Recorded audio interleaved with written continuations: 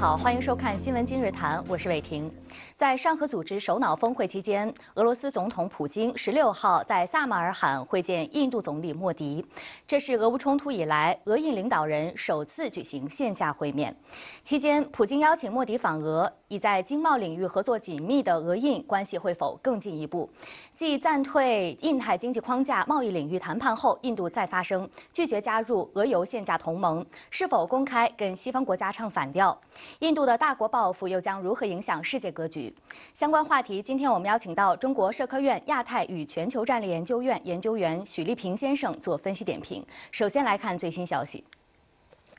在会见印度总理莫迪时，普京表示理解印方对乌克兰冲突的立场和关切。普京还称将尽一切努力尽快结束在乌克兰的冲突，但乌克兰拒绝谈判，并决定以军事手段解决。据《印度时报》报道，莫迪在萨马尔罕的会谈上对普京表示。当今的时代不该是战争的年代。莫迪称，粮食、化肥和燃料安全是目前世界关切的主要问题。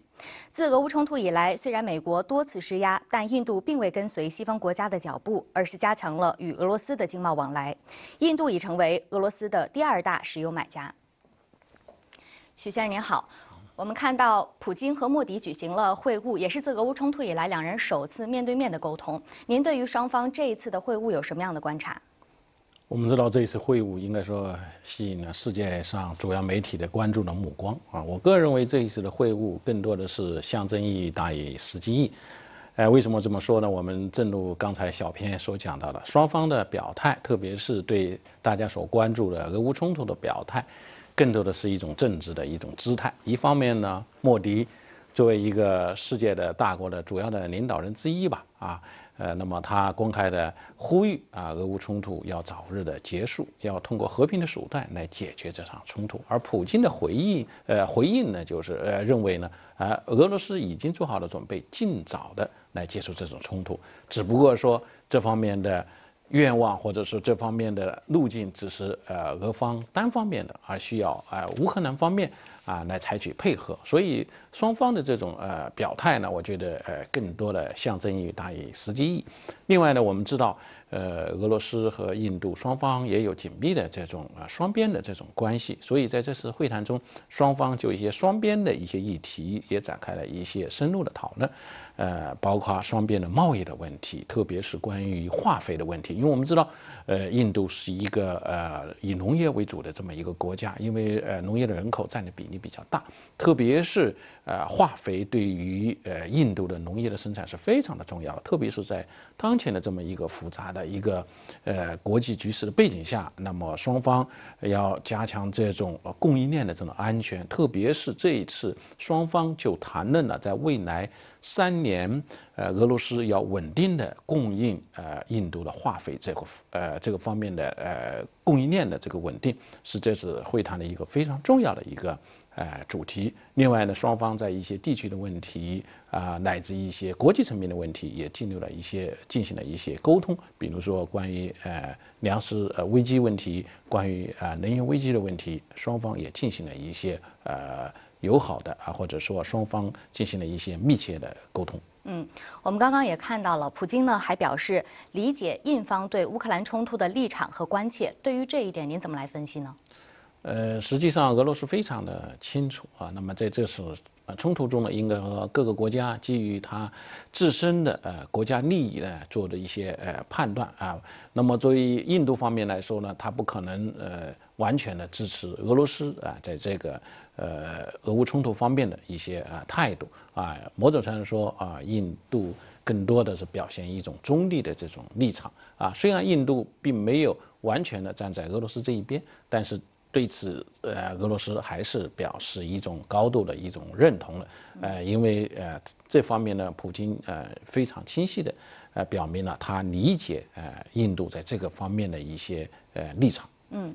此外呢，我们还看到，呃，普京在会面的时候邀请莫迪访俄，在俄乌冲突结束前，您分析印度会否与俄罗斯在外交上继续走近？实际上，呃，普京呃线下的这个邀请，呃，莫迪访问俄罗斯啊，我个人认为并不是什么一个异常的一个举动，实际上是一个常规的动作。因为我们知道，从两千年以来，呃，俄罗斯和印度实际上建立了呃领导人的这个会晤的机制，年度会晤机制，也就是说，呃，他们年度要领导人进行一个互访的一个机制。因为我们知道，呃，二零二一年的十二月份，普京访问了这种印度，呃，双方签订了呃一系列的这种双边的协议。那么二零二二年，按照这个年度会晤机制的话，应该轮到，呃。莫迪访问俄罗斯了，所以普京在这样一个背景下邀请莫迪访问，我觉得是毫不奇怪的。那么，呃，实际上我们从公开的媒体呢报道看，莫迪呃没有接茬，没有公开的回应普京。对他访问邀请的这么一个肯定的信息答复，实际上在这一点来说，呃呃，莫迪还是有所考虑的，因为毕竟俄乌冲突没有结束，所以呢，虽然在这个双边的正常的呃机制下访问俄罗斯，应该说对印度来说，呃也是有一定的这种风险的，所以我个人认为，呃，普京呃发出邀请，莫迪既是访问俄罗斯。并不能证明，呃，俄印关系的在走近，最多只是一个说在维持双边的啊这个既有的框架下的一些合作。嗯，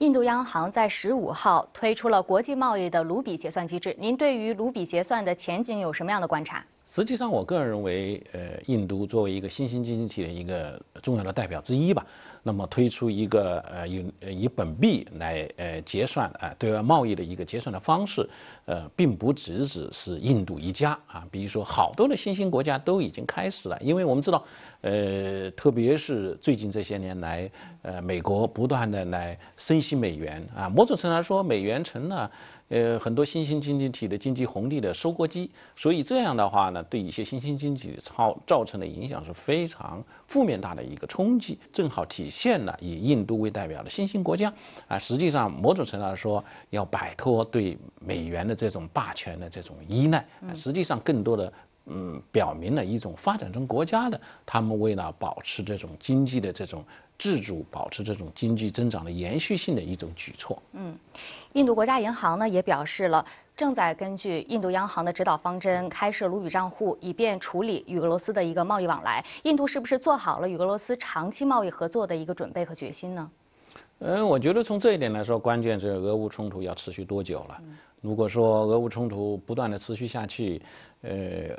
呃，美西方不断的对俄罗斯进行一种制裁的话。那么可能这种以卢比结算的这个呃制度可能会一直持续下去。如果俄乌冲突如果结束的话啊，那么我想这种局面可能呃会有一些呃调整。我觉得关键是还取决于这种呃俄乌冲突何时结束。据彭博社综合 IMF 数据，印度今年一季度和二季度的 GDP 总量超过了英国，所以一时间就有了印度超过英国成为世界第五大经济体的说法。您怎么来评价印度近年的经济表现呢？实际上，我们知道近十年来，印度的经济呃保持一个百分之五点七这么左右的一个高速的这个增长，可以说，特别是疫情之后啊，特别是今年呢。呃，那么就说经济增长还是比较高的。那么据呃国际货币基金组织的预测，那么今年的印尼的呃印度的这个经济增长啊 GDP 啊可能会超过百分之七，可能成为 G 二零里面的增长最高的国家。那么据现在的统计呢嘛，那么在一季度了，印度的 GDP 的增长超过两位数，达到百分之十三左右。那么沙特是在 G 二零里面是处于第二位的，是百分之十一啊。所以在这样一个背景下，应该说印度的这个经济的增长。有一种呃惯性，所以我觉得它超过英国是一个很必然的一个事呃事情。但是呢，即便是这样，那么印度实际上它经济的发展还存在着很多的一些短板，比如说说它的这个呃人口基数比较大啊，那么呢失业率比较高，还有它的这个基础设施比较匮乏等等，这都是制约印度未来经济呃保持持续增长的一些短板。嗯。今年呢是呃十二月，印度将会担任联合国的安理会轮值主席国哈，并且呢会在明年呃分别担任上合组织还有 G 二零的一个轮值主席国。所以俄罗斯和印度如何在这样的框架下开展合作呢？呃，实际上我觉得印度现在在国际舞台上啊，呃扮演着呃越来越积极主动的一个角色啊，所以说呃印度在整个的。呃，大国博弈中啊，应该说战略位置还是非常的不错的。那么刚才你说的这种多种的。多边机制的这个主席国，那么就给印度在国际舞台上来施展它的空间提供了一个绝佳的一个机会。无论是他担任呃安理会联合国的这个主席国，十二月份是吧？还有担任这个明年啊，从从从今年年底，准确的说，今年年底要担任 G20 的啊，从十二月份要担任 G20 的主席国，还有上海合作组织的啊主席国。我想这这毫无疑问呢，给他在呃国际场合跟俄罗斯在进行一些互动提供了。一些机会，因为毕竟，在俄乌冲突的背景下，那么俄罗斯应该说在整个国际舞台上，特别是在西方的。呃，为主导的这些国际舞台上，还是总体来说还是比较孤立的。那么，在这种俄罗斯被孤立的这么一个背景下，那么，呃，印度如何，特别是在联合国的框架下和 G20 的框架下，那么，呃，印度如何，呃，来维护啊俄罗斯自身的利益？我觉得这是一个啊非常重要的一个考验。当然，在上合呃组织的框架下不存在这个问题，因为上海组织，呃，主要还是一些。呃，中国、俄罗斯一些伙伴国啊为主体的这么一个组织，所以在这块里面和俄罗斯的互动，我觉得还主要还是在呃非传统安全方面呢，还有一些呃经济合作领域方面来进一步的来推动啊上海合作来进一步的提质呃升级。嗯，那您分析这些多重的新的身份，呃，会对印度在处理西方和俄罗斯的关系时产生什么样的影响？呃，我觉得对印度来说是一个严峻的一个挑战。哎，刚才我说了啊，可能在呃维护俄罗斯利益方面，对印度方面呢，可能是一个机遇，但是同时呢，面对西方对它的压力，是一个严峻的一个挑战。呃，可以说，无论是呃在联合国的框架下，或者在 G20 的框架下，那么西方可能说越来越多的会施加对俄罗斯的一些压力，因为我们现在。从今年的 G20 嗯召开的系列的部长级的会议上，那么俄罗斯的一些相关的部长往往会遭到冷落，甚至一些当当俄罗斯的部长在呃论坛台上进行演讲的时候，西方的部长在集体的离席，所以造成很尴尬的一个局面。那么未来在印度主持这种多边的论坛的方面，会不会出现这些尴尬的一些局面？这就体现了啊，这就要考验印度在这种大国平衡中的一些呃智慧。嗯，好的，感谢许先生精彩的点评。下节新闻今日谈带您继续关注，继暂退印太经济框架贸易领域谈判后，印度再发声拒绝加入俄油限价同盟，相关话题我们稍后继续。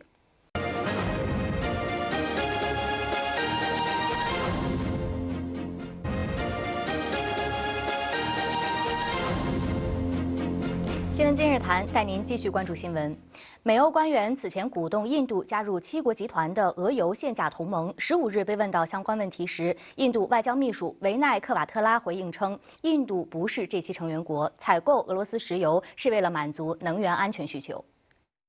Uh, India is not a member of the G7, just for record purposes, to be, to, be, to be clear on that. On the price cap coalition, well, what form it takes, what shape it evolves into is something I think which the uh, which the uh, the people, the countries that have floated that idea, perhaps can better answer to that. 由美国主导的新经济圈构想印太经济框架 IPEF 九号结束在洛杉矶为期两天的首轮线下部长级会谈。美国与十三个印太国家代表会后发表联合声明。表示已经就框架内贸易、供应链、绿色能源和公平经济四大支柱合作的主要目标达成共识，并将启动正式谈判。然而，会后有关贸易领域合作的声明中并未提及印度。印度商工部的新闻稿指出，印度将根据自身国家利益就框架下的不同领域作出决定。印度商工部长戈亚尔表示，成员国尚未就框架中的一些领域达成更广泛的共识。The framework, particularly. Any commitments required on environment, labor, the digital trade, public procurement are certain areas in which a broader consensus has yet to emerge amongst all the nations.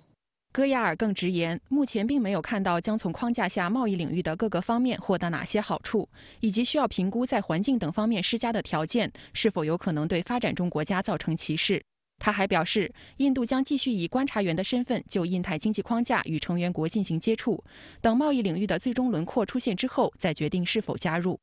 美国贸易代表戴奇回应称，美国将继续与印度进行双边贸易谈判，不会把印度当前的决定定义为选择退出印太经济框架。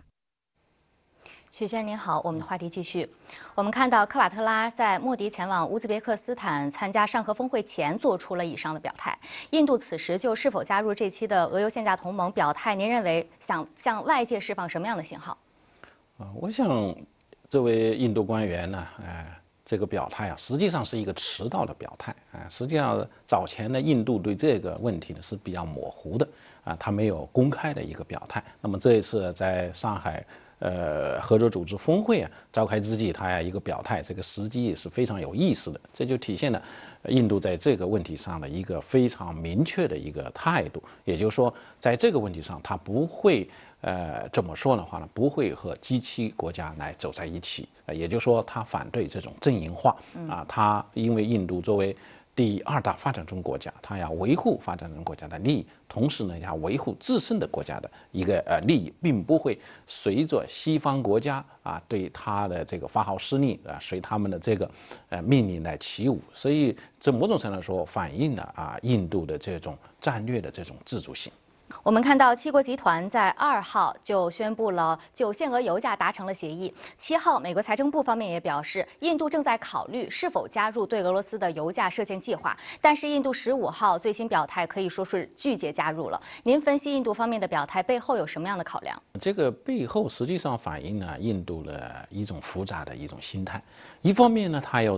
希望呢通过和 G7 国家来合作。啊，获得一些经济上的一些呃好处，某种程度上说，他不希望得罪啊这些西方啊七国集团。另外一个方面呢，印度呢又跟俄罗斯有一种传统的一个友好的合作的一些关系。如果参与西方的这个限价令的话，无意把印度推向了俄罗斯的对立面。实际上呢，这不符合。印度自身的国家利益，所以正是在这种两难的这个背景下，那么印度做出了一个抉择，那么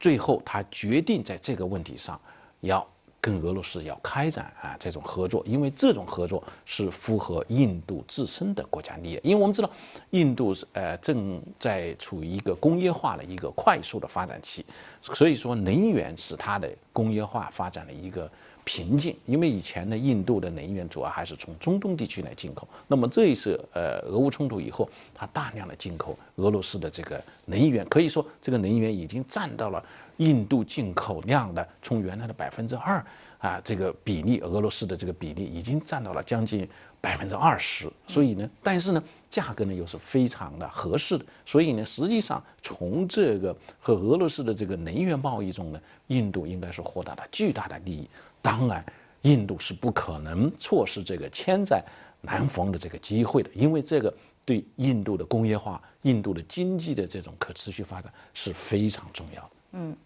印度不是这期成员国，您认为，呃，这一表态是不是说明印度和这期国家在对俄立场上的分歧已经公开化了呢？呃，我想某种程度来说，这是一个非常标志性的一个事件，因为。这涉及到一个印度你是否来选边站队的一个一个问题。那么在这个问题上，实际上印度已经明确了他的一个态度，也就是说，在涉及到呃印度核心利益的关键的问题上，印度还是要出于本国利益的考虑，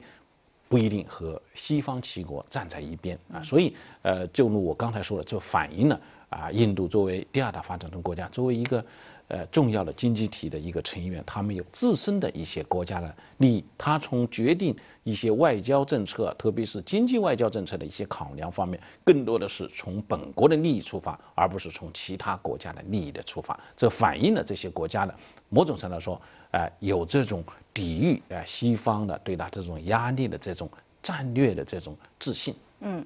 此外呢，印度九号宣布了说要暂时退出由美国主导的印太经济框架下的四大支柱之一贸易领域的谈判，理由是暂时看不到好处。您怎么来分析印度这一举措？呃，我觉得印度这个举措啊，呃，我觉得也毫不奇怪。为什么毫不奇怪呢？因为我们知道印度啊是经常的在这些多边贸易谈判中啊是掉链子啊，谈了谈了，最后呢就退出了。比如说 RCEP 啊，谈了。上十年了，最后一刻临门一脚，印度退出了啊，还有其他的一些啊谈判啊，印度是经常是这么来做的。那么这一次呢，也一样啊。那么为什么这次印度在呃呃关于第一套支柱里面贸易谈判上退出，因为在贸易这个支柱里面有七个的方面的重要的领域，它涉及到劳工啊、环保啊等啊，包括呃这个数字经济啊等等一些，呃，那么这里面呢，我看了它最后啊发布了关于贸易的这个支柱的宣言，它有一个很重要的一条啊，那么呢这一条是什么说呢？就是说要避免。采取非呃公正的手段，呃来限制呃进口或者出口啊，限制农产品的进口和出口。那么这个是印度的软肋，因为毕竟对印度来说的话，那么农产品的进出口是它的非常重要的一个核心的利益。因为我们这一次看到了印度五月份就禁止了小麦出口，因为他看到俄乌冲突久拖不决，那么未来的粮食危机可能会。面临在印度的头上，所以印度作为小麦，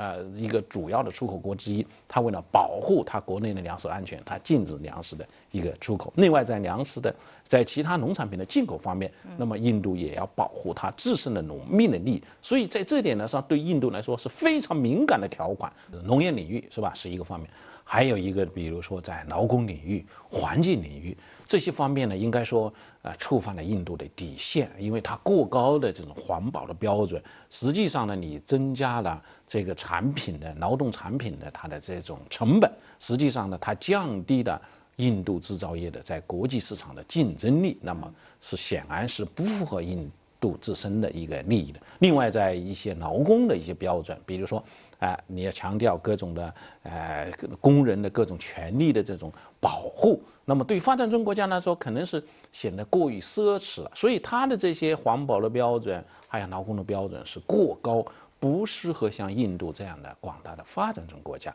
如果印度按照这种标准的话，那么印度的制造业就没有任何的竞争力了。那么国内的很多的制造业企业因此就会倒闭了。那么对于印度的政治家来说呢，是一个巨大的一个风险。所以呢，印度呢可能在这个方面呢，他并不认同，并且 IPEF 很重要一条，它的很多的一些承诺或者说一些。呃，协议它是具有约束性的，也就是说，只要你成员国加入我这个框架，我我你对这些呃条文的承诺，哎，是是要可查的啊。所以这这从这一点来说，那么印度是决定要退出，我个人认为是一个比较明智的一个做法。那么暂时退出这样的表态，是不是意味着还有谈判的空间呢？呃，我觉得这一点对印度来说，更多的是一种策略，嗯，也就是说以拖代变。也就是说，因为我们知道这个印太经济框架它没有市场准入这么一个呃条款，也没有一个关税，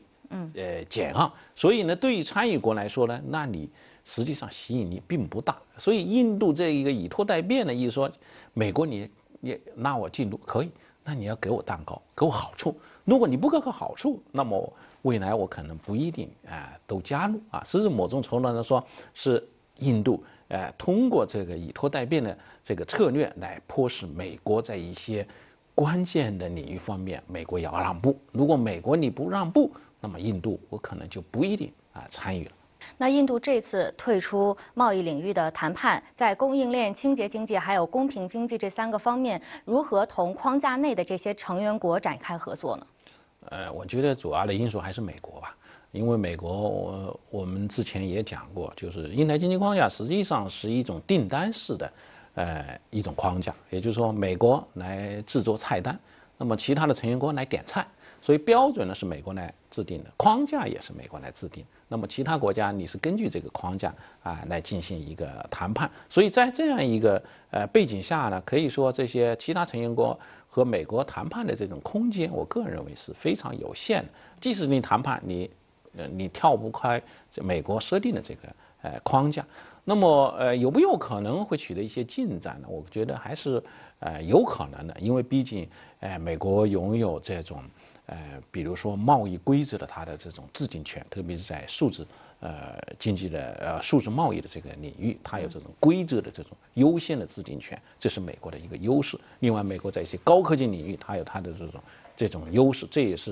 呃吸引其他国家参与的很重要的原因，就是在这些领域，比如说在清洁，呃这个能源方面啊，所谓的这个呃清洁经济的这个领域，你美国能不能够转让你这个新能源这些技术，特别是给印度这些国家，如果你转啊，可能啊印度会参与，我觉得很重要一点。另外呢，在供应链领域，我觉得在这块是有可能会达成一些协议的，因为我们知道印度是世界上一个非常重要的仿制药品的这个生产国，因为它的这个。供应全世界很多的这个国家的这种仿制药品，因为一个是非常便宜啊，还有一个呢就是也也也管用，所以呢，在供应链领域，特别是在医疗供应链领域，那么印度可能会分一杯羹啊。那么在一些呃反腐啊或者税收这个领域，我个人认为印度不一定会加入，因为它有高标准是比较高的，特别是在。印度这么一个发展中国家来说，如果你按照这个美国关于黄、关于这个呃税收，或者是关于这个反腐败的这个标准的话，可能印度很难能够达到。所以呢，但是呢，我觉得总体来说呢，印度可能呃会施加一些呃筹码啊，那么呢，逼迫美国呢在以剩下的啊三个框架做一些让步啊，否则的话。那么，印太经济框架真正就会变成一个半拉子工程了。嗯，好的，今天感谢许先生精彩的点评与分析，同时感谢您收看今天的新闻今日谈，我们下期再会。